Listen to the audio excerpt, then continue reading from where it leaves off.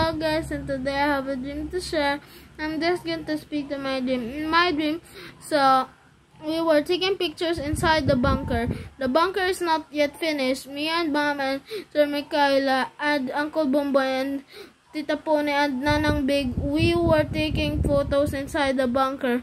Then I saw after that, me and mom and my sister Michaela uh, went inside of the room. Three of us went inside of the room. After that, we saw two calendars.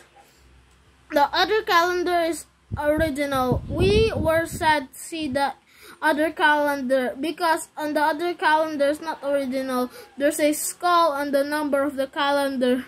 And I just forgot the number of the calendar then we were discussing discussing about the calendar then we think that there's bad events gonna happen to that that day on the calendar so after that the dream just ended so i have to thank you sister angela for my birthday present thank you sister angela for my birthday present a drone so actually we need also help pray for us. We pray for you, so pray for us. So, bye guys and God bless. Listen to God's voice.